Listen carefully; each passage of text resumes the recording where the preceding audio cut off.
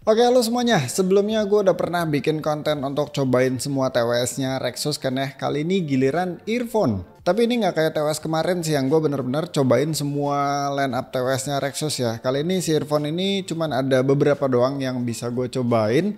Di sini ada Rexus EP4, terus ada Rexus EP5, EZ5, sama Rexus ME8. Sebenarnya Rexus itu kan punya line earphone-nya cukup banyak ya kalau nggak salah ada sekitaran 9 sampai 10-an gitu. Tapi nggak apa-apa sih ini 4 aja udah lumayan banyak.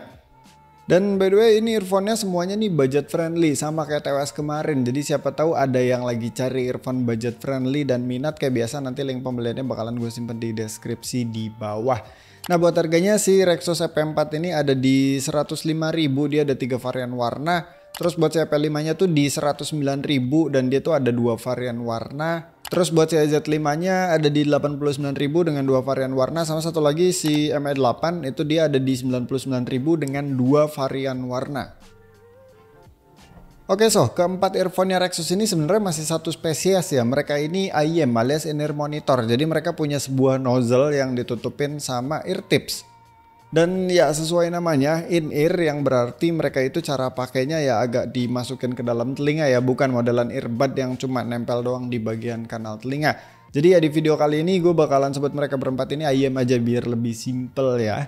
Nah karena mereka semua ini adalah ayam makanya di kelengkapannya juga mereka udah dapat ear tips satu jenis dengan total 3 size yang beda sama ada cable clip juga sini. Khusus buat si ME8 dia tuh dapat spare hook juga sama boom mic Terus kalau kelengkapan lainnya ya cuma ada buku-buku sakti doang sehingga ada pouch misalkan apalagi case ya. Tapi ya wajar lah harganya segini kok. Nah kalau kita lihat bentuknya yang EP4 sama EP5 ini dia masih sealiran sih. Mereka ini yang modelan kabelnya itu straight down. Jadi kabelnya lurus ke bawah. Tapi kalau si EP5 ini dia punya semacam air hook yang nyantol ke kanal telinga bukan yang keluar ke daun telinga ya. Sebenarnya EP5 ini masih ada mirip-miripnya sama ME8 sih yang kabelnya straight down dan ada hooknya juga. Tapi si ME8 ini kayaknya lebih dimarketingkan sebagai gaming earphone atau gaming IM soalnya ya dia punya boom mic yang detachable alias bisa dicopot pasang. Nah kalau si EZ5 dia ini beda modelannya over ear. Jadi kabelnya itu ngelingkar ke bagian belakang daun telinga. So sebenarnya secara form factor emang beda-beda ya. Jadi wajar kalau desainnya tuh benar-benar beda banget. Dan kalau buat gue pribadi sih secara bentuk ya gue paling suka si EP5 Soalnya dia yang kelihatan paling simpel, yang lainnya tuh lebih kelihatan gaming banget ya. Padahal di boxnya aja mereka semua nggak nyebut dirinya sebagai gaming earphone sih. Bahkan ME8 juga nggak ada tulisan gaming, padahal dia punya boom mic. Dan bukan cuman bentuk doang sih, gue suka juga sama fittingnya si EP5 ini. Gara-gara ya dia housingnya itu nggak terlalu gede. Gue sebenarnya lebih suka yang over ear kayak EZ5 sih daripada yang straight down ya. Cuman problemnya itu di EZ5 ini kabelnya dia kurang lemes dan enteng banget. Jadinya tuh suka keluar-keluar dari kuping gue padahal kuping gue lumayan gede sih. Kalau si EP4 ya bisa dilihat di sini ya dia bentuk housingnya tuh agak aneh. Gedenya tuh lebih ke vertikal bukan horizontal ataupun diagonal. Tapi sih sebenarnya secara ukuran segini termasuk kecil sih dibandingin sama M8 tuh kelihatan jauh banget size-nya. Cuma problemnya di EP4 ini dia nozzle-nya agak gede dan lumayan panjang sih. Kalau di ME8 problemnya di gue itu dia lebih ke inner cell-nya yang lumayan gede. Jadinya tuh butuh banyak adjust dulu buat bisa dapet deep fit. So overall buat gue yang paling nyaman urutannya ya si EP5, terus EZ5, EP4, dan juga yang terakhir si ME8. Oke terus satu lagi sebelum tes mikrofon dan juga bahas suara ya untuk urusan build quality lagi-lagi gue paling suka si Rexus EP5 soalnya dia sendiri yang housingnya tuh kayak metal-metal gitu sih mana dia ada magnetnya pula. Kalau yang lainnya tuh plastik dan berasa tipis kecuali si M8 ya ini plastiknya tuh kerasa jauh lebih solid daripada si EP4 dan juga EZ5 Terus juga soal kabel yang paling bagus si EP5 sama M8 sih. Mereka ini kabelnya sama sih. Karet gitu tapi dia ada teksturnya ya. Walaupun tipis tapi dipegangnya lumayan lah kerasa bagus. Dan lagi-lagi di sini EP5 dia satu-satunya yang inline microphone sama si housing jacknya tuh pakai aluminium metal-metal gitu. Jadi fix sampai sekarang si EP5 ini ya yang paling menang banyak ya. Oke sekarang saatnya buat tes mikrofonnya. Let's go. Oke tes 1, 2, 3 ya suara yang kalian dengarkan sekarang adalah suara rekaman dari mikrofonnya si Rexos EP4 yang lagi gua pakai. Ini dia inline mikrofonnya itu ada di sebelah kanan dan jaraknya tuh cukup dekat ya dari si bodinya atau si shell yang sebelah kanan ini mungkin sekitaran satu jengkal. Tapi kalau gua ngeliat dari wave-nya ini cukup kecil. Jadi mungkin secara power mikrofon EP4 ini nggak gede-gede amat. Oke kita lanjut ke next IM Nah kalau sekarang gue lagi pakai Rexus EP5 ya. Ini kalau ngelihat dari fisik ya, dia mikrofonnya itu gabung sama splitter. Jadi secara jarak itu lebih jauh daripada si EP4 yang tadi. Dia nempel nih sama splitter nih di bagian tengah sini. Dan ini juga sama kayak si EZ5, dia tuh gabung sama splitter. Tapi kalau gue ngeliat dari wave-nya ini justru lebih gede daripada si EP4 yang tadi. Oke sekarang lanjut ke IM berikutnya. Oke tes 1, 2, 3 Nah sekarang gue lagi pakai Rexus EZ5 ya. Ini dia kayak yang gue udah bilang di EP5 tadi ya Kalau dia mikrofonnya tuh gabung sama splitter. Cuma kelihatannya di sini kabelnya dia lebih panjang uh, Dari splitter ke si shellnya ya Karena dia over ear juga sih harusnya emang lebih panjang. Jadi ini kelihatannya dia agak lebih bawah daripada EP5 yang tadi. Dan kalau gue ngeliat dari wave-nya Ini kelihatan lebih kecil daripada si EP5 yang tadi. Jadi sejauh ini powernya yang paling gede harusnya si EP5 yang tadi Oke tes 1 2 3. Nah, sekarang gue lagi pakai Rexus ME8, tapi ini gue pakai inline microphone ya. Jadi si ME8 ini punya dua mikrofon ya. Ada inline microphone yang posisinya sama kayak EZ5 dan EP5 tadi. Dia gabung sama splitternya kayak gini ya.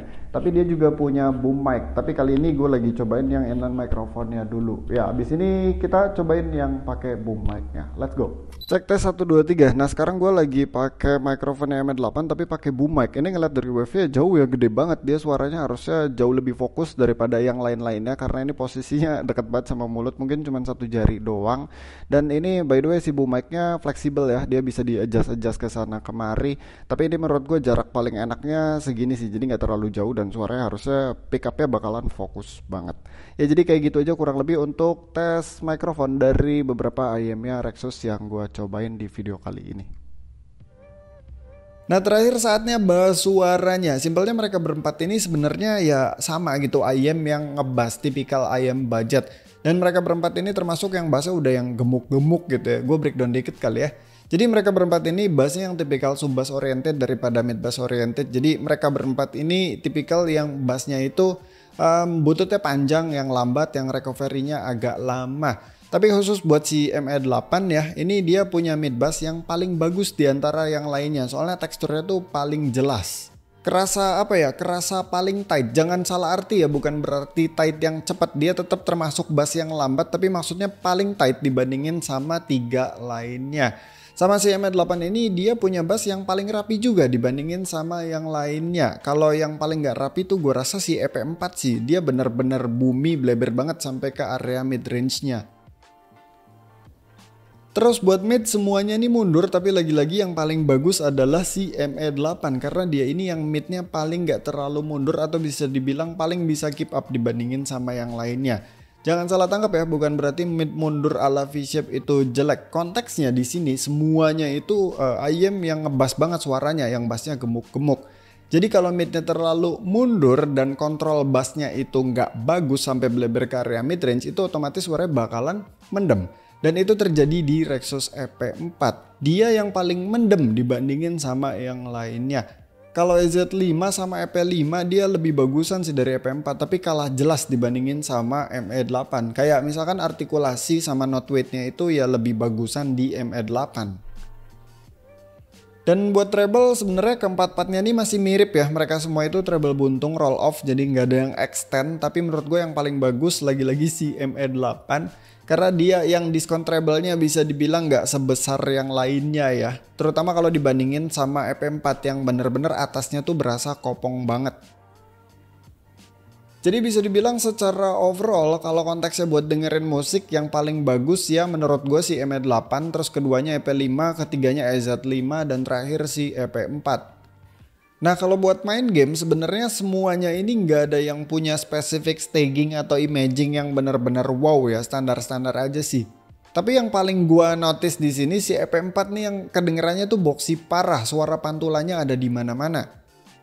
Jadinya kalau pas diajak main FPS terus kondisinya misalkan lagi rame ya, itu bakalan susah buat dapat arah suara yang presisi. Mungkin itu tadi karena terlalu banyak pantulan. Dan lagi-lagi buat main game suaranya yang paling gue suka si ME8 sih. Soalnya mungkin karena tuningannya dia yang tidak sebumi yang lainnya atau tidak sebesi yang lainnya. Jadi gue masih bisa dapetin arah suara yang kedengerannya tuh lebih jelas, lebih presisi, dan lebih nggak banyak pantulan. Jadi ya paling segitu aja videonya buat nyobain beberapa IM-nya Rexus ya. Overall mungkin yang paling berkesan buat gue si Rexus ME8 sih ya.